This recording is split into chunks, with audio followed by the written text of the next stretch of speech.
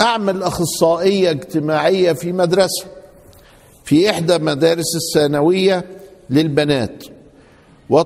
وأتعرض كثيرا لمشكلات من البنات. أغلبها يتعلق بالجانب العاطفي. البنات بتحب. البنات الصبيان بيعكسوهم في هذا السن وهم بيعكسوا الصبيان وحاجة بلاء. نعمل إيه بقى؟ فيحدث فقدان لعذرية البنت. هل لابد أن أخبر أولياء أمورهم بهذا الأمر؟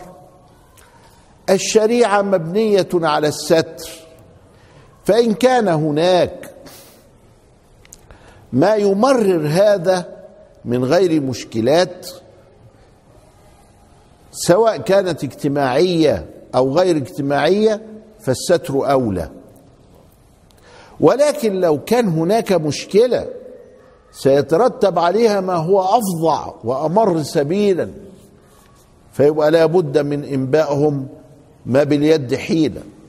ومن هذا مش فقد العذرية فقط ده الحمل أيضا. طب البنت حامل هنعمل إيه؟ وبعد الرابع لا هنعرف نجهضها ولا هنعرف نسكت. ولا هنعرف نسيبها كده علشان تنتحر ولا كذا. وهنا لابد من السعي الحثيث بالطريقة الحكيمة لإيصال هذا إلى الأهل وإلى ذلك المجرم الأثيم وإلى وإلى بحيث أن تحل المشكلة.